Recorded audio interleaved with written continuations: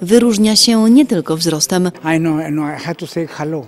Meksykański dyrygent Enrique Batiz musi wysoko zadzierać głowę, żeby powitać Michała Zaborskiego, lidera grupy altówek Radomskiej Orkiestry Kameralnej. Altowiolista wystąpi podczas najbliższego koncertu w roli solisty. To muzyk wszechstronny, twierdzi dyrektor orkiestry. Gra nie tylko w Radomiu, ale też i w Symfonii Warsowii. Jest współzałożycielem nagrodzonego dwukrotnie Fryderykami, pierwszego w Polsce kwartetu grającego jazz Atom String Quartet. wszechstronny muzyk, nie stroniący od jazzu, nie stroniący od muzyki klasycznej, a także od właśnie koncertów solowych. Dyrygent z Meksyku zapewnia, że koncert zimowy rozgrzeje publiczność.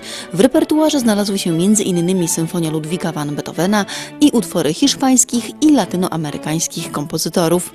Enrique Batiz po raz drugi współpracuje z Radomską Orkiestrą Kameralną, chwali rok i dodaje, że wykonywanie muzyki klasycznej jest bardzo wymagające. Nie wystarczy, że grasz dobrze. W muzyce klasycznej to za mało.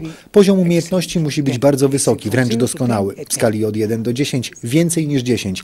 Trzeba mieć talent i wiele godzin praktyki za sobą, żeby to osiągnąć. Sobotni koncert zimowy Radomskiej Orkiestry Kameralnej rozpocznie się o godzinie 18.